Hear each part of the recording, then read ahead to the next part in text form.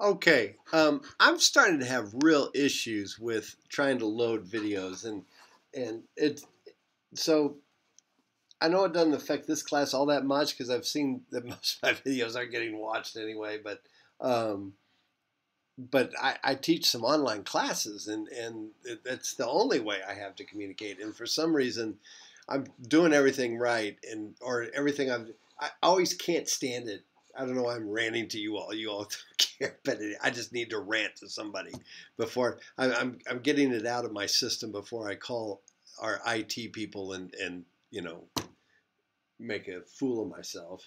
Um, I, I, I just don't understand why when you've been doing something for a year and a half, all of a sudden it becomes really difficult to do. All these procedures you've done, you know, I, I don't get it. But anyway, all right, so you all probably wondering why the hell we listening to this? Why am I taking physics? But anyway, um, because that's the way life is, I guess. All right, starting from rest, a basketball rolls from the top of a hill, reaching a translational speed of 8 meters per second. How high is the hill? All right, now, back in the day, like three weeks ago, when you were first learning, we know that the energy before is equal to the energy after. Energy before is equal to the energy after. But this time we've got something rolling all right? And so it's not just a sliding block or, or a skier going down a frictionless hill or something. We've actually got something rolling. And, and um, the key to this problem is that the energy before is equal to the energy after. Well, the energy before is his potential energy of mgh, um, not, and his energy after is actually equal to 1 half mv squared, which they gave us the v, plus plus 1 half i omega final omega final squared where his um, this was 0 over here and this was 0 over here all right? So that's what you got to deal with. They gave you v but there's two things i need to tell you all right or, th- or that i feel compelled to fill you in on. All right I, I just went ahead and went to um, you know the standard moments of inertia things here. All right. Um, so here's the first one. So we're looking at a basketball, and I assumed that that's a thin spherical shell.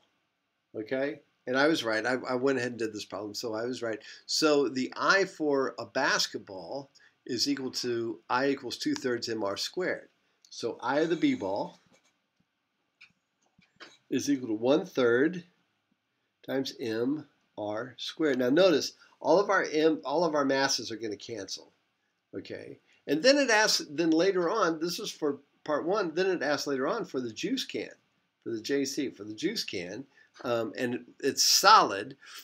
So I assumed okay, it's a and they didn't give me a length. All right, because right away you can you might be going, well, so what's the length have to do with it? Well, look, we have a solid cylinder with a length of L, and it's rolling about.